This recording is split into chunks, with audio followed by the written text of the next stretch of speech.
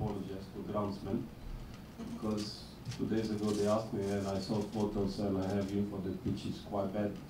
And then I don't know which newspapers write big story about that, but actually it was not issue because I went on the pitch, which is much better than before. Yeah, I decided who will play. I have my first 11 in, on my mind and uh, today just after session probably I'll be 100% sure because we have one short session. Then after this we'll see if everybody are ready. The first trophy that is much less pressure.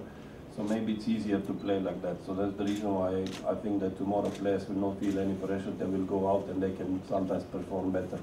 Because when they play under pressure, sometimes they are stiff. They're making too many mistakes, and, and lots of players cannot play under pressure. But now there is no pressure, so I think that in group stage and so far in Malaysia Cup that they play quite well. Saya berharap pemain-pemain saya dapat uh, mengawal kanan itu dengan baik kerana kebanyakan mereka uh, uh, bermain di peranan akhir tahun lepas.